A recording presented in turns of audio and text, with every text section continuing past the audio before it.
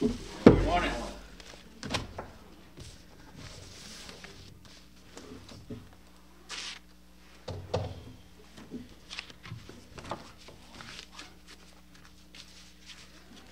The lesson this morning is uh, about Josiah renewing the covenant. And um, in a sort of unusual way, I can relate a part, at least uh, in part, uh, to the text of today's lesson personally. Um, Josiah made a, an awesome discovery, and I can personally feel the excitement, excitement that Hilkiah and, and Shaphan must have felt when they discovered a forgotten scroll, the last book of the law which had been given to Moses. Now, I would imagine that no one can guess what I have in this bag. No, that wasn't it.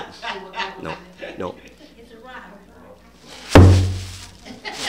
Did you look? No, but I could tell by the way he was running, he lifted it up. I had candy that I was going to give to whoever guessed. I thought I was going to Yeah. get to eat that candy during church. Next, next time you do that, Tony Dennis, don't grunt.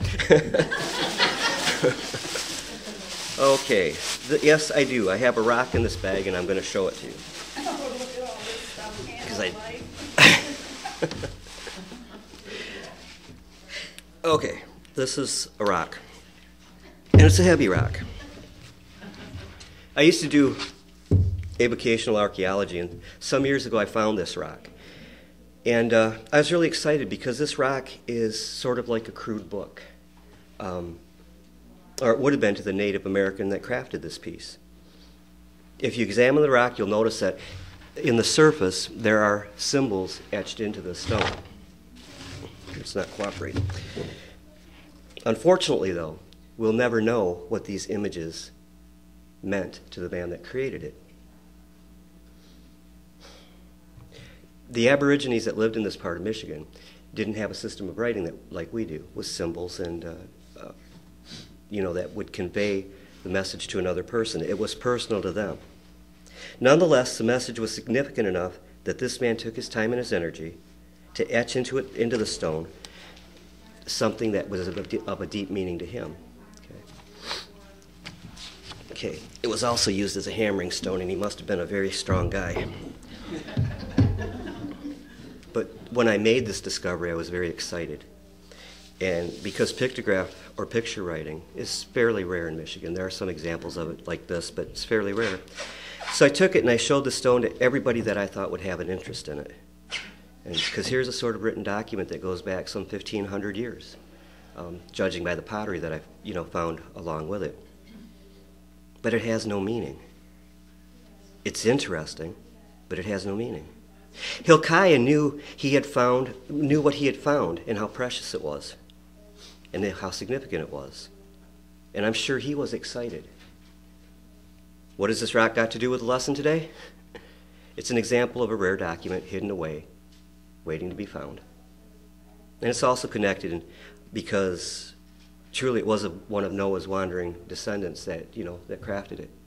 But I just thought it was interesting because it's exciting to find something like that. But it's even more exciting to find the, the Word of God. If you would, please turn with me to 2 Chronicles 34:15. And our text today is uh, a little bit chopped up, so we'll look at first 2 Chronicles 34:15. And the word of God says, And Hilkiah answered and said to Shaphan the scribe, I have found the book of the law in the house of the Lord. And Hilkiah delivered the book to Shaphan. We're going to be down a little bit more than that.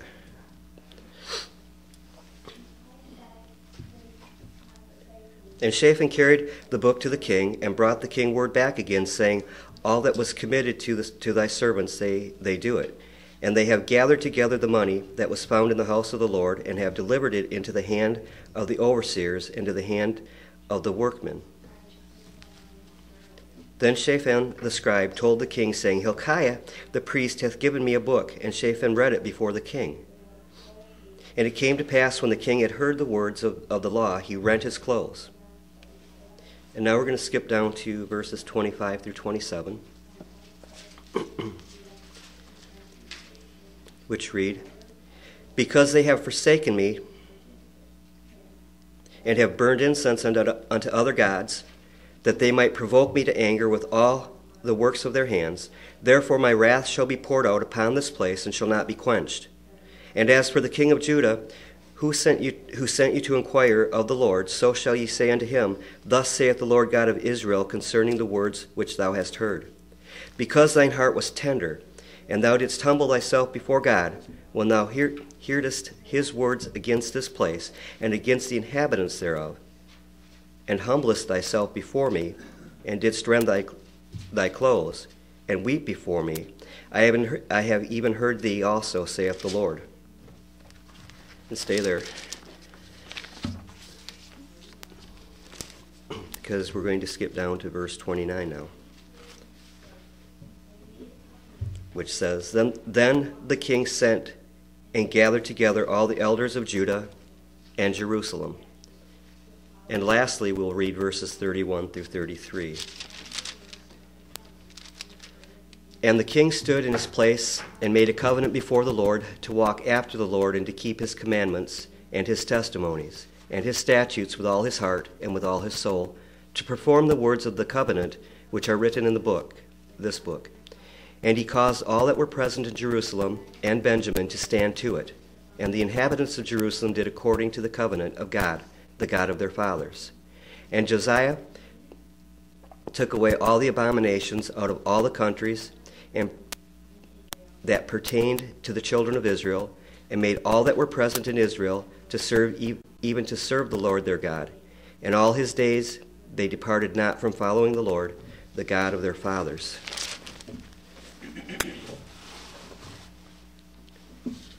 So the lesson today is broken down into three parts, but the first letter of each part's not the same. so I'm kind of weird. I can't do that. So the first part is, is the book. We, still, we see that Hilkiah made a most wonderful and awesome discovery, a discovery which wrought an awesome change in the land of Judah. Josiah was king, and he had become king when he was only eight years old. and when he was 16 years old, he had a spiritual awakening that turned his heart towards God. Josiah ordered a purging of Judah and Jerusalem, which led to a spiritual cleansing of the land. Every semblance of idolatry and false worship was destroyed. Josiah personally saw to this task. I'm not trying, excuse me, I'm not trying to demean any of our leaders today, but as I was preparing this lesson, I began to wonder what would happen if we had such a godly leader in our country today. Perhaps there's hope on the horizon. Um, maybe Obama or Hillary, or maybe a teaming of them both. we can only hope not.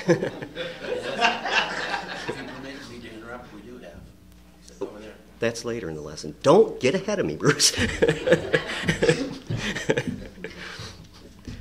I might as well stop you. Just no, I'm kidding. I'm kidding. She guessed, and he. Our lives, though, would be incredibly different than they are now. There basically wouldn't be anything on television, including most Christian programming that's on TV. Hollywood might as well slide into the ocean. Infidels would be driven from our land. There would be no more Islam's, Islam in America. That means Obama would leave. There'd be no more Buddhism. There'd be no more Hare Krishnas. And that'd be phenomenal. But at any rate, um, another six years would pass before Josiah uh, ordered a major repair of the temple, uh, which he had already, you know, had purged during the uh, during the during the cleansing. Money was collected from all over the land and given to those that were in charge of the job of repairing the temple, and they in turn paid those who were to do the actual work. At the time the money was being delivered, Hilkiah was apparently working alone in the temple. And while he was working there, he made his discovery. And that was of a, of a scroll containing the laws that had been given to Moses. Don't you find it rather amazing that a book such as this had been lost? I mean, I can understand this old rock being lost in the ground and nobody noticing it. But the scroll that contained the law was lost. for a long time it had been unfamiliar to the people of Judah. And that gives us an indication of how far astray these people had gone, how far they, they had gone in turning away from God. The book had ended up stored amongst junk and debris. I guess that it's not difficult to believe, though, when we begin to realize in our, you know, in our own day that Bibles are sitting on shelves and gathering dust. Uh, you know, Bibles that had great importance, great significance to people's lives, and their lives maybe took a different direction, and now they, the Bible just lays there, gathering dust, stored on a shelf with things that aren't important, just waiting. Waiting, forgotten. Hilkiah right away reported, though, his find to Shaphan the scribe. It is most amazing that the book had been unseen right there in the temple. Can you imagine walking into our church and not seeing a copy of God's Word? Or walking into our church and not seeing a copy of God's Word and not have it bother us?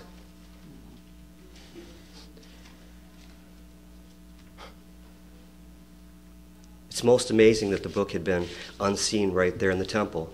Finally, though, it was to become the focus of attention, but Hilkiah and Shaphan did recognize the importance of the book. When Shaphan reported to King Josiah on the progress of the work, he told the king of the book that Hilkiah had found. In 2 Kings 22:10, we read, And Shaphan the scribe showed the king, saying, Hilkiah the priest hath delivered me a book. And Shaphan read it before the king. And surely it was an emotional time um, for King Josiah as he sat and listened to the words of the law of Moses. The clarity of the warnings that God had given, had given must have particularly struck him. It must have caused fear in Josiah as his realization of the extent of Judah's departure from God came glaringly into focus for him. Obviously, God's commandments had not been followed. As he heard Deuteronomy 17, 18 through 19, he realized God had every reason to judge his people. Let's turn to uh, Deuteronomy 17, 18, and 19 for just a moment.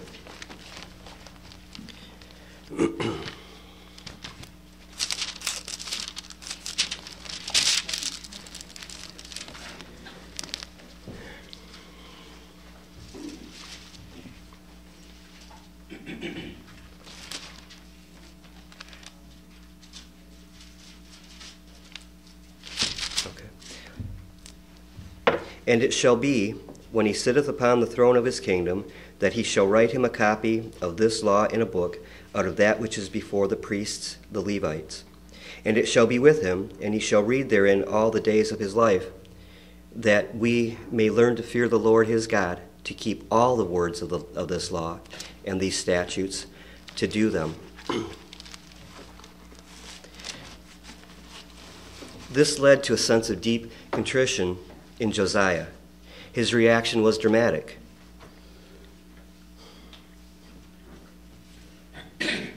As he heard the contents of the scroll, he became very distraught. What hope was there? It, it clearly the kingdom had not been living by this book. And Josiah was so upset he jumped up and he tore his clothes. And at that time he issued an order. Tearing his clothes was a sign of Josiah's deep mourning and grief over what he had heard, what he had read, heard read from the scrolls, and his realization that his people had not been living had not been living according to, according to the laws that God had given to Moses. The second part is the message. The command Josiah issued was given to five of his trusted friends. In verse 20, he had told them, Go inquire of the Lord for me, and for them that are left in Israel and in Judea or in Judah, concerning the words of the book that is found. For great is the wrath of the Lord that is poured out upon us, because our fathers have not kept the word of the Lord, to do after all that is written in this book. So the group of five, led by Hilkiah, went to the prophetess Huldah. You have to wonder if the scroll found in the temple was the only one left in existence. If so, is it not amazing how God protected and preserved His Word and brought it down to us today? It gives a sense of awe, of awe as to how it came safely preserved to us. If it was the only surviving copy, the probable explanation is that all the copies had been destroyed during the reigns of Manasseh, Manasseh and Amon. In the days of their reign as kings, the worship of Je- Jehovah had been completely abolished, with perhaps a few exceptions of individuals that uh, were scattered throughout the land who still trusted in, in God and wanted to follow his word.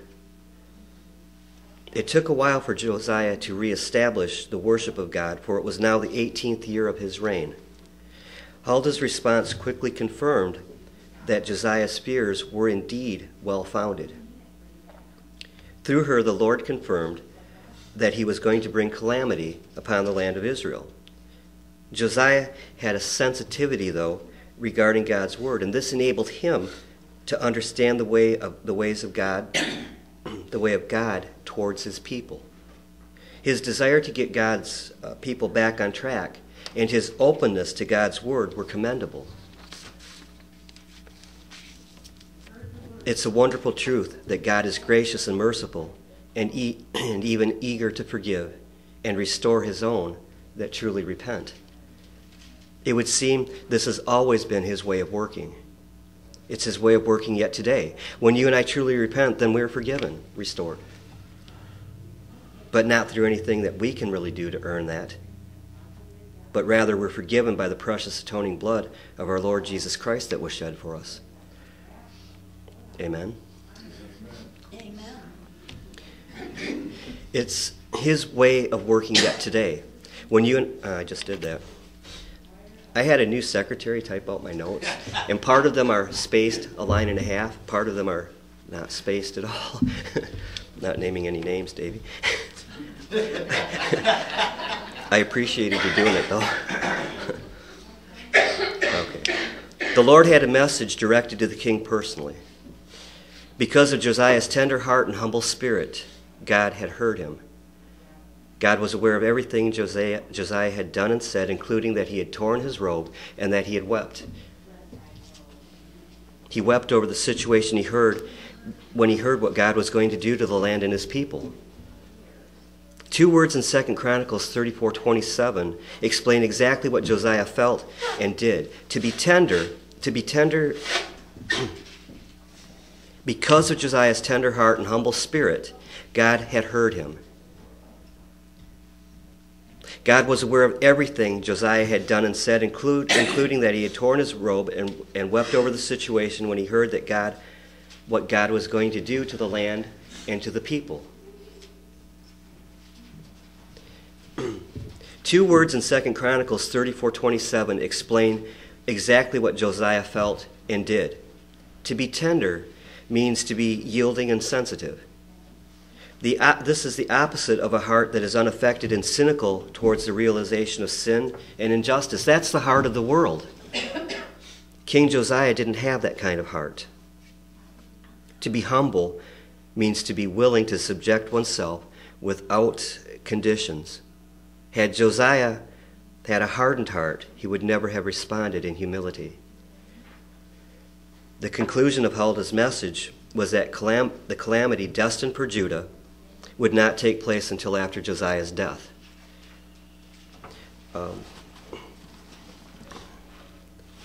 if you're still at Chronicles, uh, 2 Chronicles 34, we're going to read verse 28.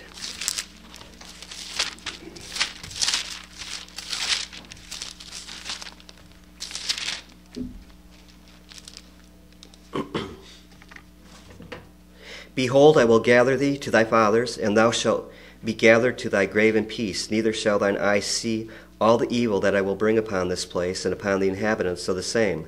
So, so they brought the king word again. This should serve as a reminder to us that God values and also honors tender attitudes of humility in his people. And tender attitudes of humility is something that I've seen consistently in everybody in this church. The third part of the lesson is the return. In Deuteronomy 31 12 13, we read of the Feast of the Tabernacles, which was done every seven years. And I'd like us to turn there, please. Deuteronomy 31 12 through 13.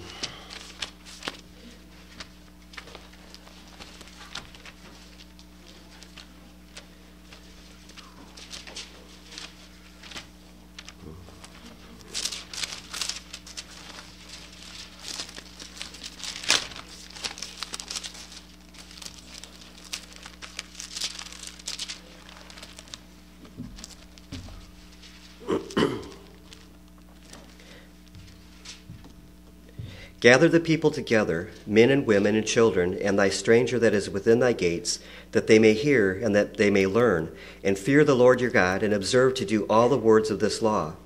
And that their children, which have not known anything, may hear and learn to fear the Lord your God, as long as ye live in the land whither ye go over Jordan to possess it.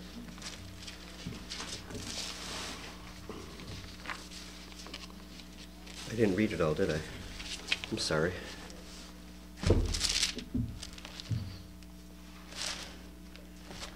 Somebody got my reference wrong, I think. because there's more. No, there's not. I'm sorry. All right. I'm human.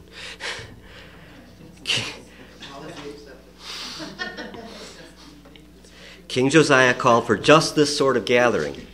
He sent word to all the elders throughout Judah and Jerusalem, along with priests and Levites and many of the common people, to come together. Then, as in Second Chronicles 34:30, he read aloud to them the book of the covenant that had been found in the house of the Lord. This reading had a profound effect upon the listeners. As Christians, there's a very serious and sobering lesson right here in, the, in this part of Scripture. You see, at one point or another, everyone in this, in this room has received the truth of God's Word and found the saving grace of Jesus through that precious Word. We love the Word and we hold it dear to our hearts, and it dwells within this temple of flesh that we are. Then sometimes we can get sidetracked by what Satan casts our way, what the world casts our way. Sometimes, sometimes life's problems so erode um,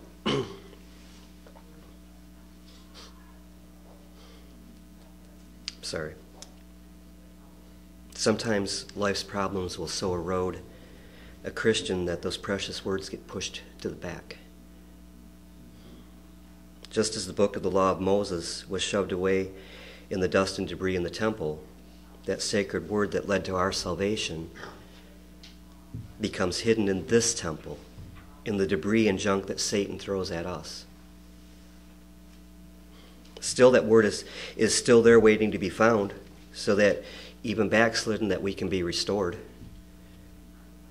I, I praise God for being part of a true New Testament church. Because in a fellowship such as this, there is less and less chance of becoming backslidden. And having less and less chance of having God's holy word shoved into the background. I thank God for the preeminence of His Word in His elect. And thank God for the church and the body of Jesus Christ our Lord. At the conclusion of Josiah's reading, the king stood before everyone and made a public commitment to follow the, the demands of God's Word. Few of the kings of Judah had made such a commitment as Josiah did. David and Hezekiah um, did, and they stood head and shoulders above other kings uh, of Judah and Israel. Josiah was dedicated and determined that nothing found in the newly discovered word would be overlooked. It was his hope that his subjects would follow his commitment and imitate him. Um, we don't, you don't have to turn there, but in, in 2 Kings 23 3, we're told that all the people stood to the covenant, and that sounds as if they willingly participated in what the king had, had commanded. Again, in 2 Kings 23 4 through 20, details are given of the purging of every object related to false worship or to idolatry that were destroyed in the temple. False priests were removed, and even a wooden idol that had been constructed in the temple had been destroyed. As stated in the text today, Josiah took away all, all the abominations out of all of Israel everyone present determined to be obedient to God. And this dedication of the people lasted throughout the entire reign of Josiah. This was a genuine revival. A powerfully illustrated lesson here con- concerns spiritual leadership and how very important that is to each and every one of us. We have been blessed with an awesome leader. And that leadership reflects in our dealings with each other and with the community around us. I won't name names because it embarrasses him. But by the way, it's his birthday today and his older brother Tom's. Seven minutes, right? Seven minutes. We've talked about the wisdom before that those seven minutes bring. Oops. Each of us has an awesome responsibility in the, in the influence that we have through Jesus Christ in the community around us. And the leadership that we receive here gives us the direction that we need to be able to go to the people around us.